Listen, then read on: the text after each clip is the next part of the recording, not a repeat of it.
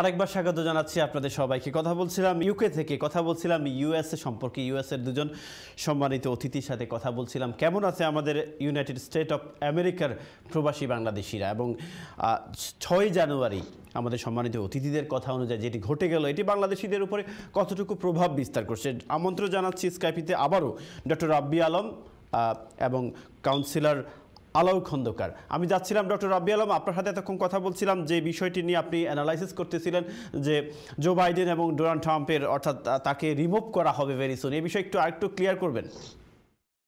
জি জি জি অনেক ধন্যবাদ। Thank you আপনারা জানেন যে ডোনাল্ড ট্রাম্পকে ইমপিচ করা হয়েছে। জি। এবং ইমপিচমেন্টের ধাপ হচ্ছে দুইটি। হুম। একটা হচ্ছে ইমপিচমেন্ট করা হুম। ইমপিচ করা হয়। হুম। আর দুই নম্বর স্টেপটা হচ্ছে তাকে সরানো হয়। জি। তা এই ক্ষেত্রে যেটা হয়েছিল তাকে অফিস থেকে সরানো হয় নাই। তো যেহেতু তাকে অফিস থেকে সরানো হয়ে হয়নি ট্রাম্প ছিল আমেরিকার ইতিহাসে একমাত্র প্রথম প্রেসিডেন্ট হুম। যিনি ইমপিচ হয়েছেন। কিন্তু আবার ইলেকশনও করেছেন। এর আগে যে ঘটনাগুলো ছিল আমেরিকার ইতিহাসে হুম। ওনারা ইমপিচমেন্ট হয়ে যাওয়ার পরে ওনারা সাধারণত ক্ষমতা থেকে সরে যান। কিংবা দেখা গেছে যে তারা আর পরে নির্বাচনে আসেনি। হুম। যেমন বিল ক্লিন্টন তার দ্বিতীয় টার্মে ছিল এই জন্য তার ইমপিচমেন্ট হলেও তাকে কিন্তু অফিস থেকে সরানো হয়নি। হুম। এই ক্ষেত্রে ডোনাল্ড ট্রাম্পকে ইমপিচ করা হয়েছে অফিস থেকে কিন্তু এই ছয় তারিখে যে ঘটনাটা ঘটেছে এই ঘটনার জন্য ওই ইমপিচমেন্টটাকে ফুলফিল করার জন্য ম্যাটার অফ ফ্যাক্ট আজকে হচ্ছে মানডে আমাদের ইউএস সেনেটে নতুন দুজন ইউএস সেনেটর নির্বাচিত হয়েছে। হুম। ওনারা শপথ নেবেন এবং ওনারা শপথ নিলে সেই ক্ষেত্রে দেখা যাবে যে পঞ্চাশ জন রিপাবলিকান সেনেটর এবং পঞ্চাশ জন ডেমোক্রেটিক সেনেটর হুম। যে কারণে তখন সেনেটের দায়িত্বভারও ডেমোক্রেটিকের উপরে চলে আসবে। আচ্ছা। কারণ ইউএস প্রেসিডেন্ট যিনি থাকেন ভাইস প্রেসিডেন্ট যিনি থাকেন হুম। যখন সেনেটে টাই হয়ে যায় hmm. So when there's a tie in the senate the vice president make the decision to break the tie okay so uh, in, the, in this case uh, you know that kamala harris is a democrat so she will be definitely voting for the democrat Hmm. so the senate is under the democratic control এই So এই doctor to- Alam আমি just এই এই জিনিসটি আমাদের প্রবাসী বাংলাদেশিদের উপরে কোনো প্রভাব বিস্তার করবে কিনা বা করছে কিনা যেমন ওখানে কিন্তু অনেক ইনসিডেন্টও ঘটেছে অর্থাৎ আপনার অনেক মানুষ আহত হয়েছে আমাদের বাংলাদেশিরা কেমন আছে বাংলাদেশিরা আসলে ভালো আছে বাঙালিরা হুম জি বাঙালিরা আসলে এক্সট্রিম ভাবে পলিটিক্সে বা রাজনীতিতে এইভাবে নেই। এবং এখানে যদি কোথাও প্রোটেস্ট হয় বা র্যালি হয় ওভাবে বাঙালিরা কখনো জয়েন করে না। বাঙালিরা শান্তিপ্রিয়। এখন আমাদের কমিউনিটি আমরা চেষ্টা করছি হুম। শান্তিপূর্ণভাবে কিছু করার। হুম। তবে ওয়াশিংটন ডিসিতে হুম। যেদিন আমাদের আপনারা জানেন ইলেকট্রন কলেজ গণনা করার কথা ছিল। হুম। ওদিন আমার ওয়াশিংটন ডিসিতে যাওয়ার কথা ছিল। সন্ধ্যা বিকেলে। রাইট তো আমি আটলান্টা জর্জিয়াতে ছিলাম। যখন দেখলাম যে এই আপনার ডোনাল্ড ট্রাম্প লাইভে এসে। টিভিতে এসে বলছে যে তোমরা মার্চ করো আমি তোমাদের সাথে আছি। তোমরা এখানে দাবি তুলো আমি তোমাদের সাথে আছি। হুম। ট্রাম্প হেরে গেছে জানার পরেও কিন্তু সে এটা করছে। তখন আমরা বুঝতে পেরেছিলাম যে এরকম কিছু একটা হবে এবং তারপরেই তো এই কারফু হলো এরকম ঘটনা হলো মানুষও মারা গেল। ঠিক যে কারণে with the death blood shedding of peaceful people but those people are the criminal you have no right but এই এই ধরনের ডক্টর রাব্বি আলম এই ধরনের ঘটনা আমার মনে হয় আমেরিকার ইতিহাসে আগে কখনো ঘটে নাই তাই না? জি আপনি যথার্থই বলেছেন এরকম কোনো ঘটনা আমেরিকার ইতিহাসে কখনো ঘটেনি। জি ধন্যবাদ। আমি একটু কাউন্সিলর আলাউর খন্দকার সাহেবের কাছে যেতে চাচ্ছিলাম। আলাউর সাহেব আমাকে শুনতে পাচ্ছেন? জি জি। আপনাকে আবারও স্বাগত জানাচ্ছি যে আপনি বাংলাদেশের হয়ে নির্বাচিত হয়েছেন বাংলাদেশের হয়ে প্রথম বাংলাদেশি কাউন্সিলর হিসেবে কাজ করছেন এবং আমি বিশ্বাস করি যে প্রবাসে আমাদের ভয়েস হচ্ছেন আপনারা। আমাদের আপাময় জনতার ভয়েস হচ্ছেন আপনারা। আমি জাস্ট একটা জিনিস জানতে চাচ্ছিলাম যে, এই যে ইনসিডেন্টটা ঘটলো ছয়ই জানুয়ারি, অর্থাৎ সিনেট দখল করে ফেলল এটা তো আমরা ওই এশিয়ার কিছু কিছু দেশে দেখি বা আফ্রিকান কিছু কিছু দেখি দেশে দেখি, ইউরোপ, আমেরিকা বা ইউকেতে আমরা কখনো দেখি না। এটি একটি নজির। এ বিষয়ে আপনার মন্তব্য কি? হ্যাঁ এ বিষয়ে আপনারা নিশ্চয় ইতিহাস পড়ে থেকে প্রায় দুইশো বিশ বছর আগে ক্যাপিটালে আক্রমণ হয়েছিল যেটা এইটিন টুয়েলভে ব্রিটিশ আক্রমণ করেছিল আর দ্বিতীয়টা এই ট্রাম্প সাপোর্টাররা এই লোটিং অ্যাসল্ট করে চারজন সরকারি ব্যান্ডালিজমকারী চারজন মারা যায় পুলিশ মারা যায়। এই দুটোটার জন্য শুধু বাংলাদেশি শুধু আমার লজ্জিত যে আমি একজন রিপাবলিকান হিসাবে রাব্বি ভাই জানেন আমি রিপাবলিকান আমিও লজ্জা বোধ করেছি আপনারা কি জানেন? এই ডোনাল্ড ট্রাম্প ক্যাবিনেট থেকে of transportation secretary of education chief of staff of first lady white হাউসের স্পেশাল সেক্রেটারি এবং ডেপুটি ন্যাশনাল। সিকিউরিটি অ্যাডভাইজার যিনি পদত্যাগ করেছেন।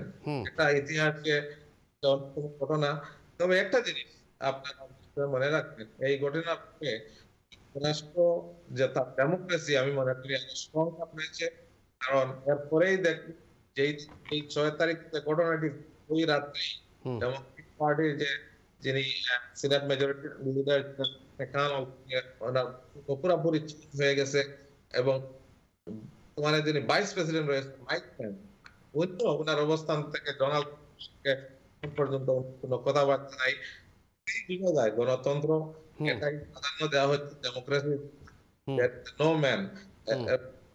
ডোনাল্ড ট্রাম্পটা হচ্ছে actually represent Trump party is not even Republican দেখেন রিপাবলিকান রাব্বি ভাই অনেক সিনেটের মধ্যে কংগ্রেসম্যানরা ওনাকে ভয়েস রাইজ ওনারা এই আজ এখন থেকে প্রায় ঘণ্টার মধ্যে দেখবেন capital hmm. Incitement of hmm. Insurrection যেটা ইয়ে গাইড করার জন্য ইয়েটা আসছে। এটা এক। মধ্যেই দেখো হয়ে গেছে। কিন্তু এই মুহূর্তে ইনভলভ ফিফটিন এম এল যেহেতু জব মাইক পেন্স করছেন না তখন ইমপিচমেন্টটা এই ক্যাপিটাল হিল পলাসি স্পিকার ডাকবেন অনেক রিপাবলিকানরা এতে যুক্ত করবেন এবং আজকের মধ্যে আমাদের রাবি ভাই যথার্থ বলেছেন আজকে একটা অনেক ব্রেকিং নিউজ আসতেছে আমরাও দেখ আপনারাও দেখতে থাকেন। তবে একটা গণতন্ত্রের জায়গায় কোনো মানুষ হবে না যুক্তরাষ্ট্র ইতিহাসে সবচেয়ে জঘন্য সব সবচেয়ে খারাপ প্রেসিডেন্ট হিসেবে তার লেখা জনাল যে ট্রাম্প। হুম ধন্যবাদ ধন্যবাদ। আমি আবার ডক্টর রাব্বি সাহেব আপনার কাছে যাচ্ছিলাম। রাব্বি সাহেব শুনতে পাচ্ছেন? জি। জি। একটি জিনিস আমাকে খুব আমি অবাক হলাম যে আপনার আমরা ধরুন আফ্রিকান কান্ট্রিগুলো চিন্তা করি বা এশিয়ান কান্ট্রিগুলো চিন্তা করি যে জোর জোর করে ডেমোক্রেসিকে হত্যা করা বা ডেমোক্রেসি না মানা, গণতন্ত্রকে না মানা, আমরা এখনও ব্রিটেন থেকে ইউএসএ থেকে ডেমোক্রেসিকে আমরা লালন করি। সেই ডেমোক্রেটিক কান্ট্রিতেই সেই গণতান্ত্রিক দেশে যদি এই ধরনের মানে এ ধরনের কাজ হয়, সেটি বহির্বিশ্বে গণতন্ত্রে কতটুকু প্রভাব বিস্তার করবে? অবশ্যই এর একটা নেগেটিভিটি আছে। তবে America is a law you know land of law hmm. And nobody is above the law তো সেই ক্ষেত্রে আমরা আমেরিকাতে এটার আমার মনে হয় না এটা আর অ্যাডভান্স হতে পারে। হুম। তবে এখন প্রশ্ন হচ্ছে যে এইটার ইফেক্টটা বা ইম্প্যাক্টটা অন্য দেশে কারণ কারণ কারণ আপনাদের ইউনাইটেড স্টেট অফ আমেরিকা আপনাদের আমি যেহেতু আপনি আপনারা ওখানে রিসার্চ করছেন আপনারা ওখানে লোকাল গভর্নমেন্টের সাথে জড়িত আপনাদের আমেরিকা সব সময় বলে থাকে যে আমরাই হচ্ছি সারা বিশ্বের গণতন্ত্রের ধারক বাহক আমরাই হচ্ছি সব কিছুর প্রধান। তাহলে আমরাই ইসরায়েলে হামলা ইসরায়েলকে দিয়ে ফিলিস্তিনে হামলা করাবো আমরাই ইউরোপে গণ্ডগোল করাবো আমরাই মিডল ইস্টে গন্ডগোল করাবো আমরাই সাউথ এশিয়া কন্ট্রোল করব। এখন আমাদের মধ্যেই এ ধরনের অবস্থা যে আমরা সিরিয়ার দখল করে ফেললাম। লজ্জাজনক। হ্যাঁ জি জি জি জি। অবশ্যই এটার জন্য আমাদের অবশ্যই আহ, আরও বেশি সজাগ হতে হবে। আমরা চেষ্টা করছি। আগামীতে যাতে করে এই মানে কি বলে এটাকে? আনাড়ি। ডোনাল্ড ট্রাম্প আসলে একজন বিজনেসম্যান তো সে রাজনীতি বোঝে না জানে না। সে যদি আসলে আমি একটা কথা বলি আমি অনেক বলেছি।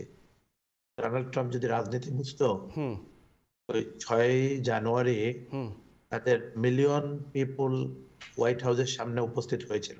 হুম। ট্রাম্পকে ওই একটা March save America March hmm. ওখানে যদি আমি হতাম আমি হয়তো তাদেরকে বলতাম ওই এক মিলিয়ন লোকের সামনে যে আমি তোমাদেরকে এখানে ডেকেছি থ্যাংক ইউ দেওয়ার জন্য ধন্যবাদ দেওয়ার জন্য।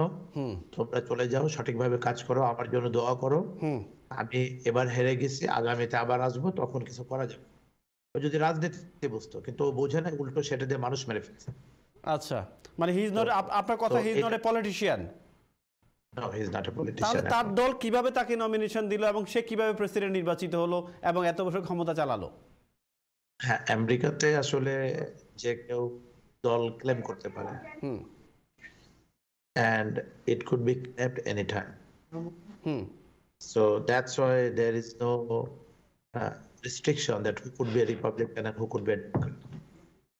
Thank you আমি আমি একটা জিনিস ডক্টর রাব্বি আলম আপনার কাছে জানতে চাচ্ছিলাম যে এই যে জো বাইডেন নির্বাচিত হলো অবশ্যই উনি ভেরি সুন ক্ষমতা নেবেন দায়িত্ব নেবেন এবং এই জো বাইডেনের ক্ষমতা ডোনাল্ড ট্রাম্পের বিদায় এটি কি বাংলাদেশের রাজনীতিতে কোনো প্রভাব বিস্তার করবে বলে আপনি মনে করেন? অবশ্য অবশ্যই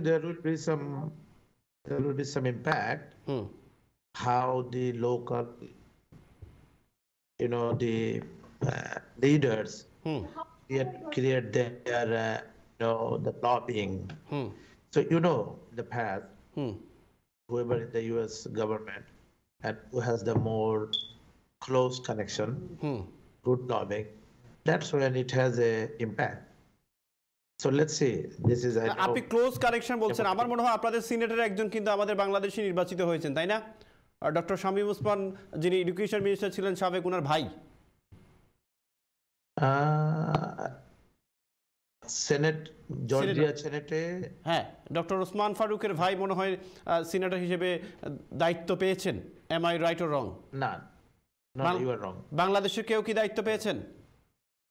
বাংলাদেশের এই একজন জর্জিয়া স্টেট সেনেটে নির্বাচিত হয়েছেন। হুম। আমার মনে হয় আপনি তার কথা বলছেন। শেখ রহমান। না উনি মনে হয় something Osman something like this আমি নামটা ভুলে গেছি আচ্ছা আমি আপনাকে বলি ওসমান সিদ্দিকী- আমাকে আলাউ সাহেব একটু হেল্প করবেন। জি আলাউ হ্যাঁ সাহেব। হ্যাঁ হ্যাঁ, আমি বলি। উসমান শওকত উসমান উনি হলেন আমেরিকার একজন প্রথম অ্যাম্বাসেডারের দায়িত্ব পালন করেন ক্লিন্টন সময়। উনি হলেন ডক্টর উসমান রাইট আবার সাউথ এশিয়ান যে ডেমোক্রেটিক পার্টি রয়েছে জি। হলেন অ্যাডভাইজার আচ্ছা। ওনার সম্ভবত আপনি রাইট আমি জনাব আলাউর খন্দকার সাহেব আমি কি ছোট্ট ব্রেক থেকে এসে এই বিষয়টা একটু আমরা শুনতে চাই? প্রিয় দর্শক কথা বলছিলাম আমরা ইউএস এর দুজন সম্মানিত অতিথির সাথে কথা বলছিলাম যে বর্তমান যে ইনসিডেন্ট ছয় জানুয়ারি হয়েছিল সেটি আহ, কতটুকু প্রভাব বিস্তার করবে বাংলাদেশি প্রবাসী বাংলাদেশিদের উপর এবং বর্তমান সরকার যে নতুন সরকার আসলো সেটি বাংলাদেশের রাজনীতিতে কোনো পরিবর্তন আনবে কিনা? এই বিষয়ে আমরা আরও কথা বলব। ছোট্ট একটি বিজ্ঞাপন বিরতির পর আমাদের সাথেই থাকুন প্লিজ